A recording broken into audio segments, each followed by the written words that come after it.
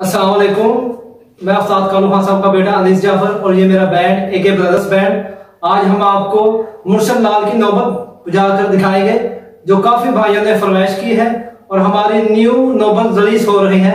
तो आए स्टार्ट करते हैं।